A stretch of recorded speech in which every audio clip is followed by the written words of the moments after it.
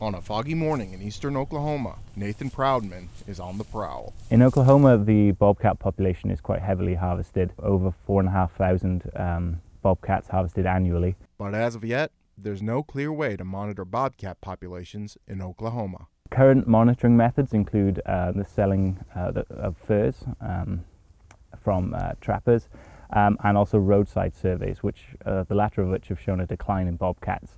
Um, but these methods may not necessarily reflect true bobcat trends. So um, we're hoping to provide a uh, non-invasive alternative method that is independent of the fur trade. That method involves setting up traps to collect bobcat hairs. We use these, these hair snare cubbies that are um, little tent-shaped things that the um, has scent lure on the inside and then gun bore cleaning brushes on the um, uh, openings of the of the little tent. And so when the um, bobcat or any other mammal goes in and to investigate, they leave hair on the on the gun bore brushes. A simple method for an elusive animal. But what can a bunch of fur balls tell us about bobcats? When we collect the hairs, we can actually um, clip the follicles, the hair follicles that, that come out with some of the hairs, and we're doing genetic studies with those. So we'll actually be able to identify individuals when they leave hair at the at the cubbies,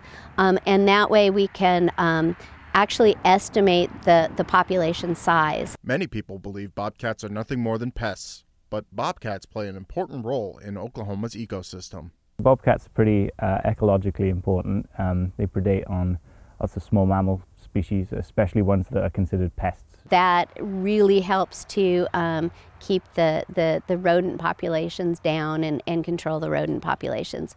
Um, coyotes also eat those, but they're, they are not as effective at eating the, the small rodents. They, they tend to eat larger species, so the, the bobcats can be really beneficial. Oklahoma is one of the highest ranking states in the nation for bobcat pelt sales.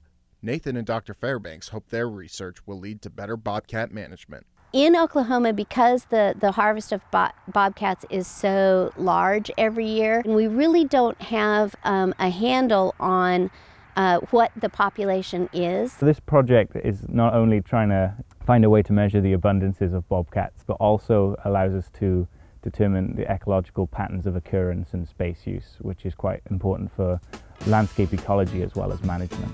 In Pittsburg County, I'm Ed Barron.